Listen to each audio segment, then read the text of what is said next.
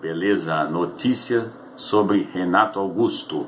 Chineses endurecem liberação de Renato Augusto, mas Corinthians mantém negociação. Vou estar trazendo essas e outras notícias agora para vocês.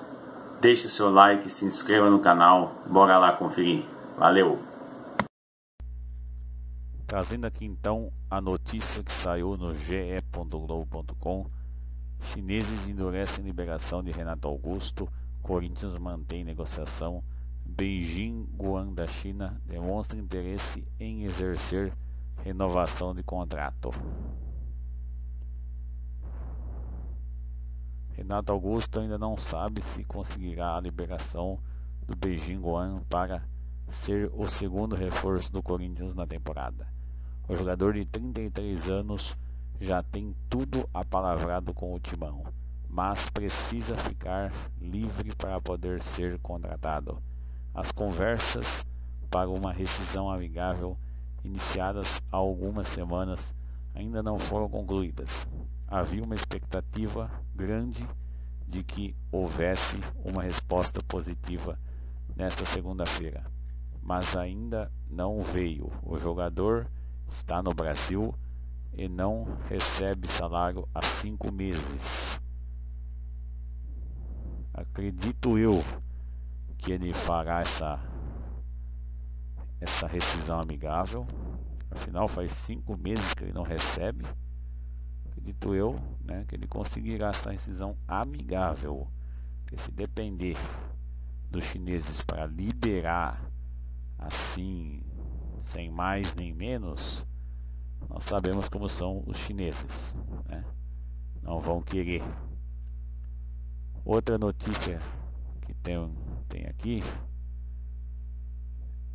é do Roger Guedes. Empresário confirma tentativa de rescisão de Roger Guedes na China. Corinthians de olho. Postada há 34 minutos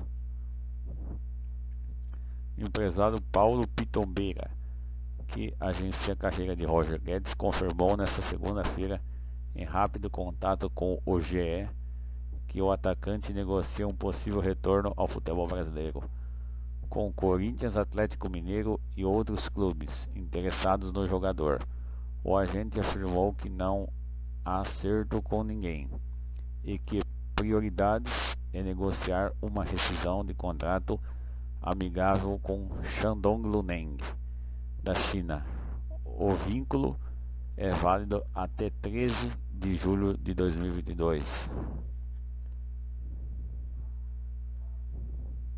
Estamos em conversas com o Shandong sobre a rescisão, já que o atleta não consegue entrar no país por conta da situação no mundo e está, no, está só treinando há sete meses. Roger é um grande jogador, foi campeão brasileiro pelo Palmeiras em 2016, jogou muito no Atlético Mineiro, foi vendido e tem só 24 anos. Ele é muito jovem para não estar competindo. Quando ele estiver livre, ouviremos os clubes interessados, afirmou o agente. Então essas foram as notícias sobre o Renato Augusto e o Roger Guedes, atualizações nesta segunda-feira, 19 de 7 de 2021. Se você for novo por aqui, se inscreva no canal, deixe o seu like e compartilhe o canal com seus amigos. Valeu!